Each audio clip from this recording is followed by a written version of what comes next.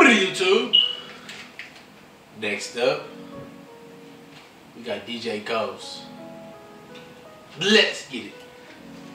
So look, man. So look, so look, so look, so look, so look.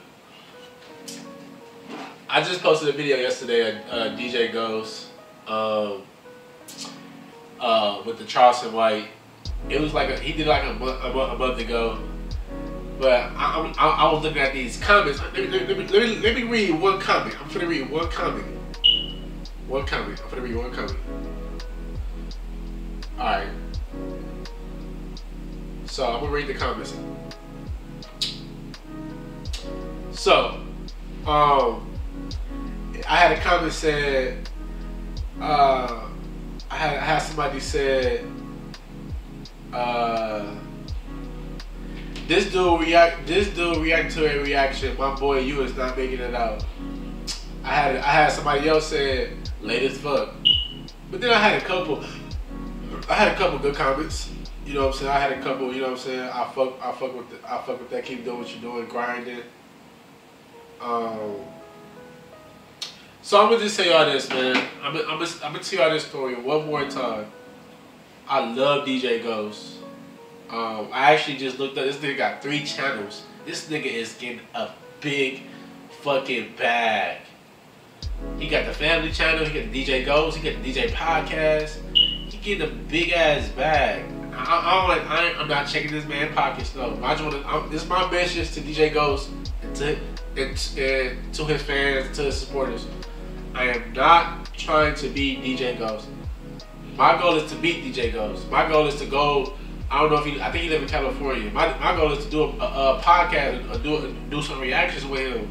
I was watching DJ Ghost since I was. What, where y'all think? Where y'all think I get this from? Next up, where y'all think I get that from? DJ Ghost. I'm not copying him. I'm just modeling him. I've been watching DJ Ghost since I was little, bro. Like really, really little. Like, I've been watching him since I was like, like a youngin. Like I told myself, I said, once I become a YouTuber, once I and I'm taking this shit serious now, bro. I, I just, bro, I just see this man crib. I was going through his channel. I went to his, his family. He got a, he got a, y'all look, at his family. Uh, he got a family channel too. I'm looking at this nigga house. And I said, damn. In my head, I'm like, damn, you can get all this just by being a YouTuber and staying consistent with YouTube and posting videos. Wow. Bro, fat ass crib, fat whips, smoking the best gas. And that's what I really want to do, man. I, am I'm not smoking now because you know I'm, I'm on a grind right now. So myself, told myself once I start, once I hit like don't get me wrong, I love smoking weed, but I'm just not doing it right now because I'm, I'm grinding on YouTube. I'm, I'm so dedicated to YouTube and shit like that. But I ain't gonna hold you no longer, man. We finna get right to the video. But last thing I just want to say is, shout out DJ Ghost, man. If he not inspiring a lot of people to do YouTube, well, you sleeping. You sleeping, bro. You gotta wake up, get out the matrix, wake up and work. I've been posting every, like for the last week now, I've been doing five videos, and I'm not stopping. I'm, I'm not stopping until I hit a million subscribers, bro. I'm going hard. I'm a red, I'm a red pill nigga. I ain't no blue pill nigga. I'm about to run it up for real. And, uh, yeah, but shout out DJ Ghost, man. Let's get right to the video. Um, this is, uh, this this is him. He did a reaction to, uh, I'm, I'm reacting to him. Meet Sharp, the man that started pimping at 14. So I guess we finna react to a guy. We finna react to DJ Ghost talking about a guy that was pimping at 14. So yeah, and make sure you hit that like, comment, subscribe, and yeah, let's get right to the video. Let's get it. Bro, um, y'all know I had to bring it back with one of these underbelly interviews. The last one was dope. I still ain't contacted um my guy, man. Uh uh uh uh Wakanda Forever. What's No, I still ain't contacted him and uh I want to do that. You know what I'm saying? And I'm not not for content. So if I do do it, the only way y'all will know is when I tell y'all like, hey, I linked up with Little Jungle Boy, whatever the case, we chopped it up. But as far as content go, I think he already put everything out. If we was to do some content, I want to be the executive producer to the movie. I want to be the top, like the head. I will fund the movie. I will get get somebody to act it. Oh, I am not lying. I will find somebody cold to act his part, you know what I'm saying? But um, this one right here, we got Sharp from the No Jumper podcast. And to keep it real, when it comes to Sharp, just a couple months ago, I think he been at No Jumper, No Jumper for like what a year, year and a half, or something like that, two years. I'm just now finding out, bro, was a pimp like four, five months ago from all this interviews going viral. You know what I'm saying? I always This nigga was a pimp. You said this nigga was a pimp at 14. thought he was just like, just like some hood, like a gangster from Cali or something like that. But I'm not finna hold y'all no longer. I'm ready for it. I hope y'all ready for it. This is uh, this is Sharp from No Jumper. I got into the ism, man, when I was 14, 15 years old. So this sharp, this sharp. And look, this video 41 minutes long. Y'all know I'm not doing the whole video, bro. I'm, I'm gonna do like 15, 16 minutes max. I'm gonna put the link in the description. You know, young. You know, if- I grew up around. What does Chain say? Sharpie. A lot of y'all know already, but when he talk about ism, when he say ism, he talking about pimping. You know what I'm saying? When you got, all right, if you growing up in LA, if you grew up in LA, gangbanging is gonna be the first thing that you actually. I'm gonna keep it real. If you grew up in the hood, that you actually fall in love with, cause gangbanging look dope as a youngin. They got all the females. They all wearing the same color. Not today, but back then that's how it was. Everybody got on their chucks. You want to be that. But then you got places like Oakland to where they groom you. Since a youngin to be like a little pimp, you know what I'm saying? I don't know where it's short from. I'm just giving y'all an example in certain places, just like Boston. When you, if you grew up in uh, Charleston, up in Boston, you don't grow up to be a gangster. You don't grow up to be a pimp. By the time you 12 years old, you find out that your big brother, your daddy, your uncle, your great granddaddy, they all hit banks. When it comes to Charlestown or Charleston, whatever you call it up in uh up in Boston, that's Bank Lick Central. Think I'm lying. Look it up. Look it up. around you your standard pimps and drug dealers and prostitutes and crackheads and, you know, your everyday model of fucked up society. You know? All right, Sharp. Sharp, uh, where you from? Where'd you grow up? I was born in Detroit, Michigan. I moved to the West Coast, Las Vegas, when I was two. Uh, never saw the Midwest ever again after that. Bro, live in Vegas. Grew up in Las Vegas a bit, went to school. You know, typical American fucked up dream. I did not know that. I did not know that. Las Vegas, I was just gonna say before I paused it, uh, when he said American Dream. Las Vegas, especially people from California, in like the early 2000s, mid 2000s, I ain't never been to Las Vegas. Once I go to Las Vegas, y'all know I'm vlogging. Y'all know I'm doing my thing. So this year, um, uh, I'm going to I'm going to go to Miami. Uh, I'm gonna go to uh, I'm going to Los Angeles. Um, where I'm gonna go? I'm going to Chicago. I'm, gonna vlog out there too. There's a couple of states gonna hit. I'm gonna, I'm gonna, tap in with you guys. it was like you go to Las Vegas, the rent is cheaper, you can get a job out there, your kids can grow up not in gangbang society or whatever the case, that environment. And it was fast for a minute. But like I said, everybody from LA, everybody from California, Oakland, San Francisco, the Valley, up the IE, whatever, they all adapted to that and they all got wind that Las Vegas was cheap. So with that happening, you come to Las Vegas and you got every type of person up in LA and Las Vegas and it just don't look bad, bro. I mean, I said don't look bad. It don't look good. I'm keeping it real. You will have you a shooting out here. The police pull up in another state. I think I think Vegas and probably Arizona is the only Nevada and Arizona, bro. I think they are the only two states to where it can be a shootout in that state, right? Police get over there, find out it's two LA fools shooting at each other. Y'all both not from out here. How did y'all even run into each other? Why? Because it's like gumbo. You know what I'm saying? Any given apartment building up in Vegas, I promise you on my kids. Any given apartment building. And when I say given, you can just, this one I have it, this might. This one I have it, this might. Any apartment building gonna have Bloods in there, Hoovers, bounty hunters, uh, uh, neighborhoods, gangster core. You're gonna have all type up in Vegas, bro. The whole complex. Damn, that's crazy. When I go when I go to Los Angeles, when I go to Vegas, I'm not gonna be. In, I'm gonna I'm gonna try to drive around the hood. But I ain't gonna be. Like, I'm gonna just. I ain't gonna drive. I'm gonna just see how it is. You know what I'm saying? But I'm, I'm really just gonna be out there, just you know what I'm saying, like.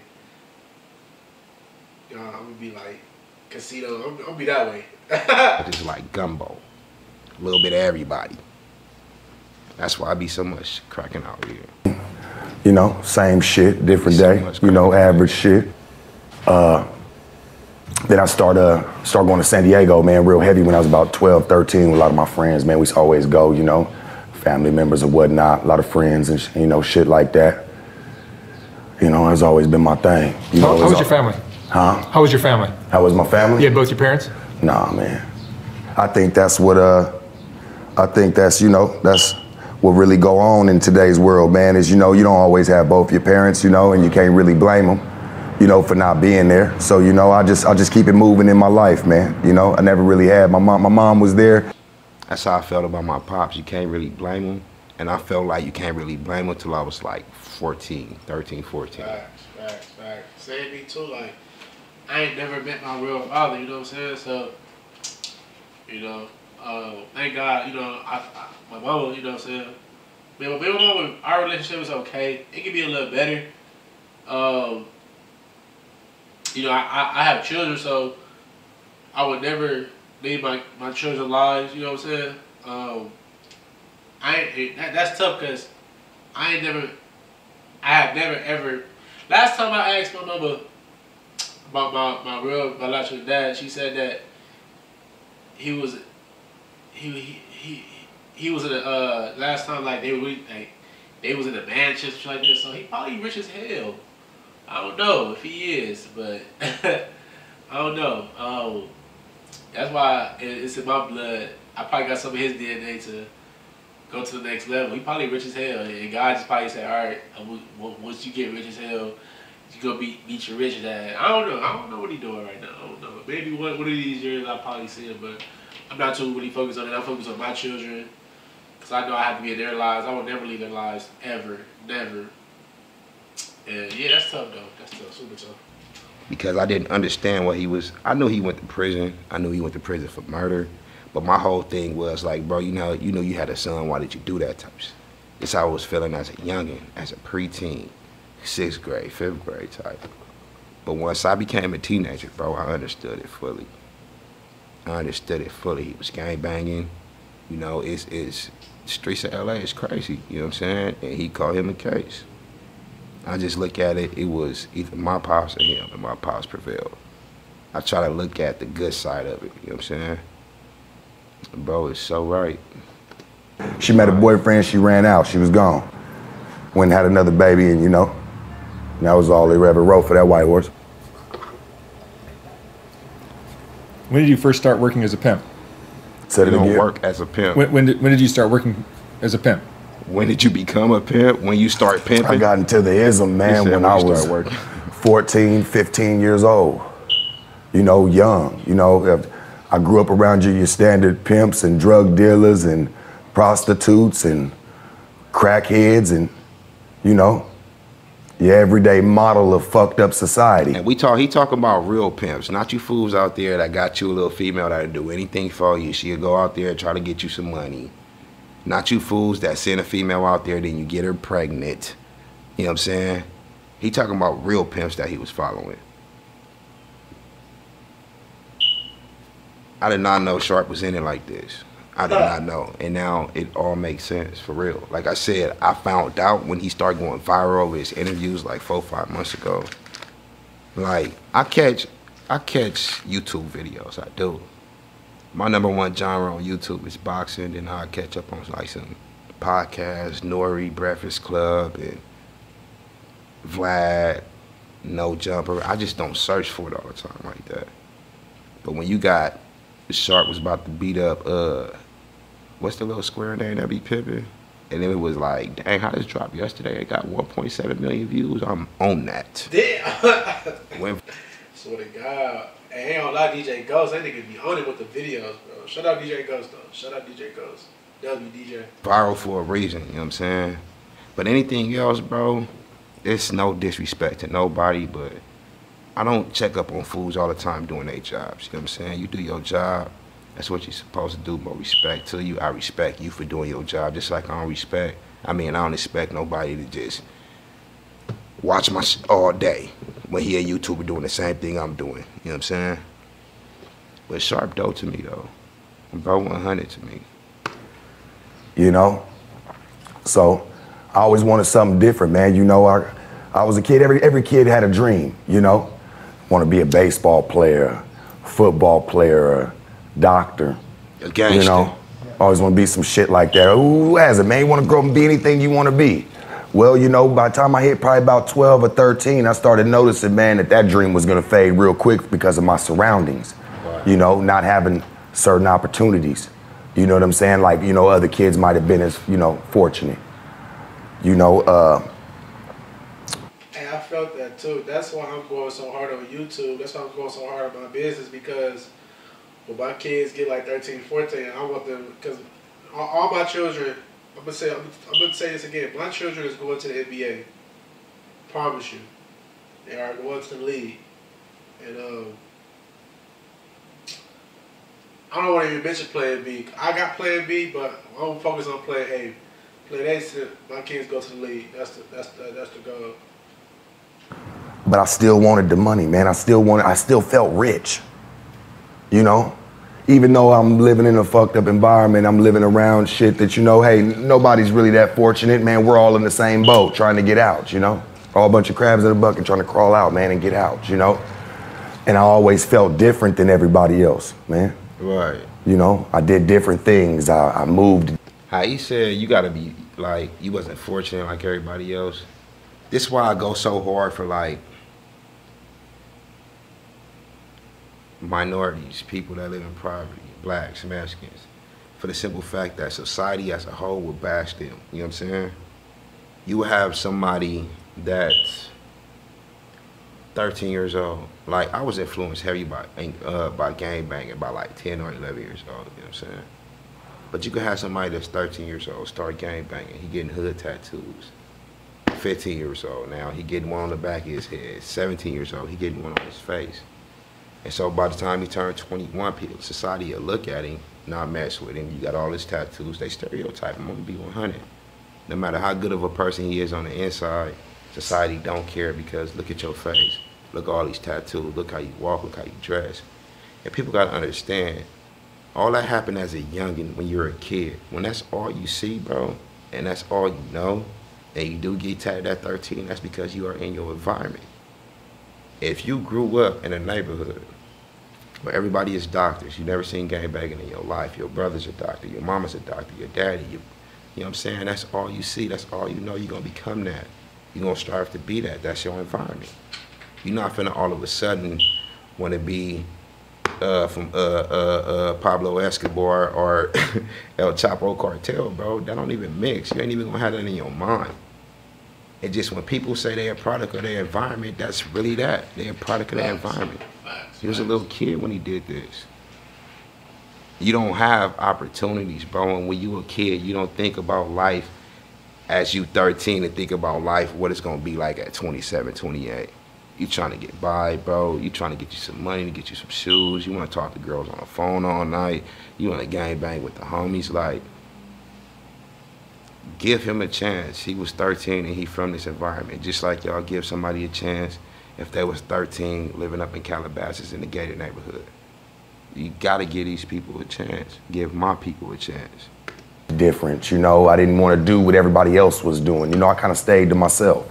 You know, all I, messed with a lot of broads when I was coming up. You know, I always had a bunch of females. You know, as friends as a kid. You know, young. You know, from first grade on up. Uh, I've been having girlfriends. I was never scared of girls. I was never a, a boy like that to where I, you know, ew, get I away don't wanna me. go over man, there. None of that.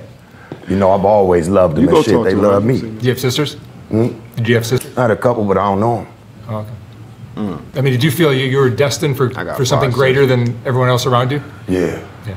And that's why I think, you know, I picked up what I picked up. Shit, man, the game found me. You know, I didn't find the game. The game found me, man. It's not for everybody. You know, and there's definitely no gray areas. Hmm. Like this Skid Row is a bunch of them. You know, it's not. It's not none of that, man. How did, how did it begin for you? How did it start? Your first girl. Get into it. Yeah, right into it. for real. I was a kid, man. I was young. She shit, was- my first girl, she man, was shit, she's 26 years old. She need to be in jail. I thought This nigga said she should be in jail. It don't work like that, DJ Ghost. It's only the opposite. Now, if he was 26, messing with a 13 year old, it's always, you know, it's, it's always different from like that. A guy can say, call the police and say, hey, this girl just raped me. And he posted it. It would not get no views. It got, it, that shit would, if a girl say, hey, this 26 year old trying to talk to me, trying to rape, it's gonna go viral. It's always like that. It's a woman. It's a woman's state like like with shit like that. It's, it's fucked up, but it's crazy. he had some little 14 year old out there and 15, 16 year old.